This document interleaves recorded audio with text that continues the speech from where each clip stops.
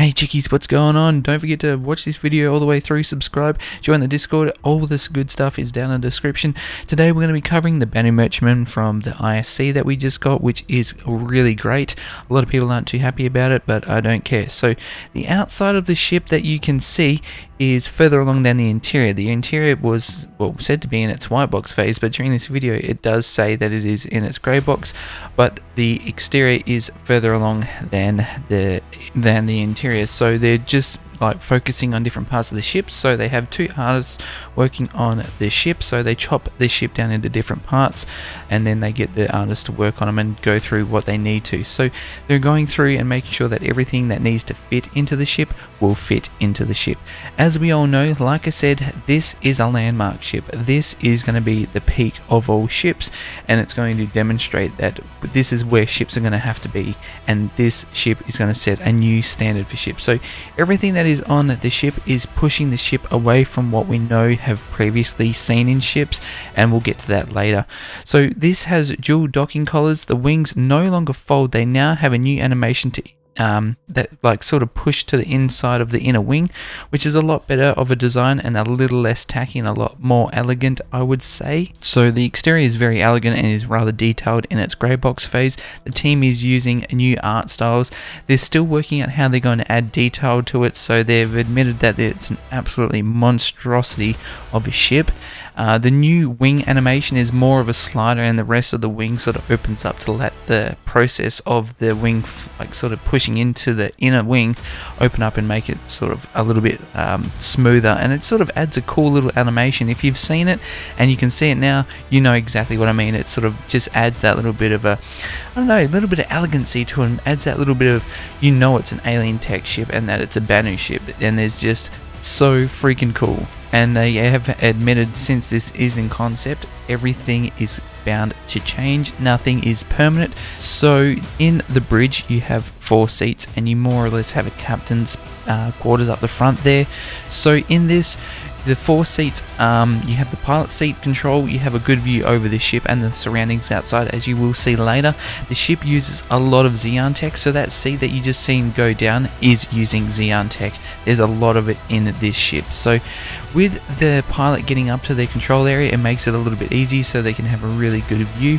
The control seats in this, you have a co pilot seat, and the other seats are just remote turret control seats. So, you know, it's a little bit easier for someone to get back there and then actually go and start gunning to the enemies that are attacking you or any sort of emergency situation. Someone can just jump straight onto that unmanned turret and start assisting you in anything that you will need to, uh, you know, attack and sort of gain control of a situation. But again, I don't think there'll be too much of a problem in this ship. It has so many points that are covered in this, and uh, there's one that a lot of you know about, and I didn't even see this until everyone mentioned it, which is pretty crazy. So as you see here, the pilot seat sort of twists up and then you get this sort of overview over the nose of the ship and sort of get an open view through the window there which is really great that's something that we uh, really need I would say because it's just it seems like this ship has so much going on it's just so many different aspects to this ship that you can look at it and you just go wow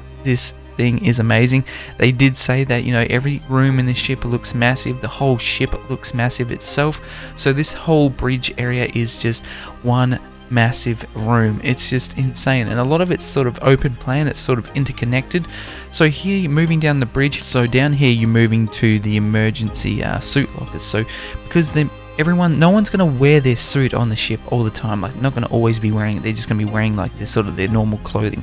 So here you have your uh, suit lockers right next to your escape pods. So if you need that suit on straight away and you need to get escape that ship, you can just bang straight out of there. You don't have to sort of mess about it. It's just so simple, easy, in, out, done. So they have them on either side and they have an extra up their back there. So, you know, if they got a little bit um, more crew down the back there, it's a little bit more easier and it's just accommodating for all those people, I guess.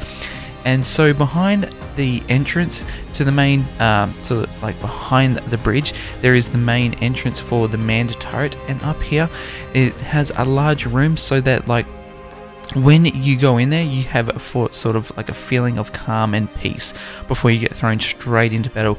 It has a rather lonely feeling to the room where all the other rooms are sort of feeling like, you know, it's family orientated, it's supposed to be open, there's a lot of people there, it's not really feeling as lonely as what, you know, this room is designed to be, I guess. So the turret is held in place with the Xi'an tech, aka Alien tech. There will be an air shield inside the turret room, so it will actually be able, well, someone will be able to throw a grenade down there or even be able to EVA into there, but they have said it will be quite a silly move or quite impossible to do that because that turret is so large and that would probably just decimate them within a few seconds. So as you can see here, the fluid motions are pretty nice. This ship is going to be something else, and you guys are going to love it. So don't be disappointed. Everything you've seen is bound to change. This ship is not final. Obviously, it is still in like a grey box phase, so don't be disappointed. Don't be like let down of what's happening here. There's a lot of good stuff going on with this ship. This turret is going to be the main defense for the uh, the ship. Obviously, you've got all your point defense weapons as well, but this thing is just going to be an absolute massacre. It has two M7As on it, which is really cool. So moving down from there, you move towards the Sanctuary. So if no one has heard of the Sanctuary, I would assume that you have. The Banu are known for being multicultural. This is an area for worshipping, to pray that, you know, a battle will go well, uh, trade runs will go to plan and there will be no issues. But going off to the side is a med bay as well, but here is just where you come to pray, you come to worship and you hope that everything goes well. So I'm really interested to see how this sanctuary turns out because this will be one of the corner pieces of the ship.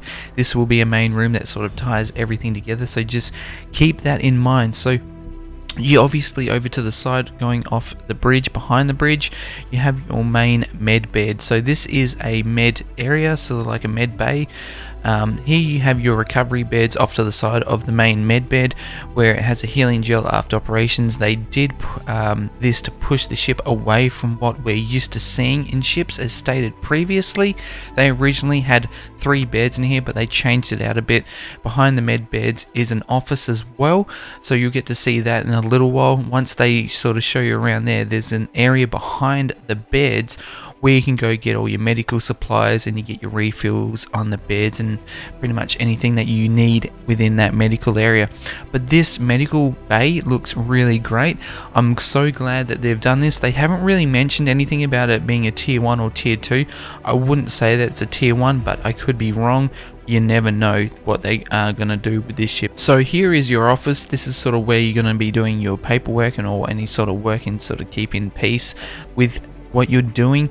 This is the storage area that we're talking about. This is where you do your refills, get your medical supplies and whatnot. So just keep that in the back of your mind and just remember that this ship is being worked on still. There's nothing is final right now. It is in concept. They have mentioned this multiple upon multiple times. So the whole ship will have a very alien feel to make sense to the human eye, but still feel very different and know that it's an of alien origin. I mean, our minds know that is the door, but just watching it go together and sort of come apart is just something else. It just makes you feel like it makes you feel kind of weird. But yeah, like it said, it's supposed to feel like it's you know an alien ship, but your human eye can see that it's not of human origin. So here you have two elevators. With these elevators, it's quite interesting actually. So they go sort of throughout the ship and it sort of saves you time from so this is like your habitation commons area you have a food machine in there so that that food maker that we were talking about. You have specified areas to eat. You have a social area to talk and plan stuff out for anything that you have going on, uh, like trade runs and whatnot. So it's, you know, in these Banu ships as well, they have strict metrics for humans, but Banu we know is rather larger and taller than humans. It's a Banu ship for, you know, the Banu, but they have made it work for all races, but at the end of the day, it's always going to be for the Banu. So we need to keep that in mind and always remember that it's not always going to be based and sort of targeting for humans. So off of the habitation area, this is a secondary control uh, sort of room for the hangar to allow those who are permitted to enter the ship. And then when you open that hangar door, obviously they will enter the, the ship at your permission, which is really great. So in here, it's nothing like a lot going on really. So coming off of the Habs as well, you have two staff lifts. They give you more access besides running around the ship like a lunatic. Here, still like it's amazing animations in there. It's crazy to watch that sort of that hangar door open. I can't like yeah, I can't sort of get over a lot of this. So as I said, there are two elevators here. They are they're there to make it easy for people uh, to get to decks that they need to without having to run around the ship and sort of run out of breath and not get there on time if it's an emergency. So in here, you've got six floors. Yeah, six floors. I can't even believe this. So to put it into perspective, um, you know, we did go over the cutaway of this in our deep dive, but then again, we didn't really know the magnitude and the size of this ship. We didn't even get to see the brig in this, which is sort of, you know, it's not a big deal, but it would have been nice to have seen that and see what it was actually like. But then again, you know, it's not too much of a big deal. So coming in here, this is sort of where your uh, customers come in, or just when general people come in as well. So this is also where your delegates come in. So the people that you want to discuss very important things with, that is your negotiation room there. This area that you just seen is like a foyer and this sort of opens up into the meeting area, which is important like important for delegates to go and discuss with you and your crew. Very important trade runs, anything that's sort of major and an issue, I guess. I'm not 100% sure what you would go in there for, but I have a rough idea what you would use that room for. So going off into this room off to the side, this is a VIP delegates area if they want a little bit more of a fancy and comfortable room. This sort of demonstrates all the angles and the curves of this ship and sort of how it's supposed to feel. It's just it sort of gives you a, a nice little feeling and sort of where this ship sort of comes together. It's nice, enjoyable, and sort of looks like a peaceful room. They come in here, wash their hands, wash their face, do what they need to to get ready for a meeting. So, in the meeting room, there has got um, all these chairs around it, obviously, even on each side, so delegates, delegates can then communicate with your crew or whoever they need to talk to in that said room. So that is going to look like an amazing room. It does overlook the cargo area down there as well. So when you're in the cargo area, it holds, and I quote, a colossal amount of cargo. The volume of cargo really does give you a true sense of scale of this ship. Um, it's just when you're walking around there, even watching them walk around there, it's just insane to see how tall and how high it goes. We do know that they have the pictures of the sea containers in here as well, and they did have quite a uh, quite an aspect of how high they were and how many they could fit in there. So they didn't give us too many rooms to look at, but they did give us quite a few things to look at, as you can see from this video. So this is another elevator that sort of links up different floors. It's um it's quite an accessible area with this ship of different areas. So here is the market. This is a very open area. It's one of the most, um, like one of the best areas, probably what the ship will be centered around. This will be the first thing customers are going to see upon entering the ship. Now, it goes from a narrow hallway into this room to sort of give it sort of that massive open feeling, which it's probably going to be massive and opening, like open anyway. So it looks to be a turret in there as well. So on the roof, you would have seen in all the pictures, and you'll see right about now that there is sort of a gun um, on the roof. Whether or not that's going to be controlled by a person or an NPC, or you can blade that. So I guess whenever you have any sort of hostiles that are coming onto the ship, this will definitely set a whole new standard of what's going to be expected of ships. I mean, if you even you got pirates coming on and they you know they're trying to get a hold of your ship they're trying to take over it you can then neutralize them or even watch them and possibly try and negotiate with them but again you could probably just shoot them and then just be done with it but it's all about that role play this is the back area. Uh, this is a different room. It's sort of like a guest room. This is sort of how the ship is going to feel. Every room has a different feeling and a different look, but this is how everything should look. This is unpolished. This has like this isn't even optimized. It's just rough. And it probably took them a very long time to do this, but they put this together to sort of demonstrate to us what it's going to feel like what it's going to look like. I'm friggin' stoked. I'm so glad we got this video. There's apparently people whinging about this and, you know, like, oh, the merchantman's not that great. Well, look at this thing. Uh, People are just trying to find everything they can to complain about something. It doesn't matter.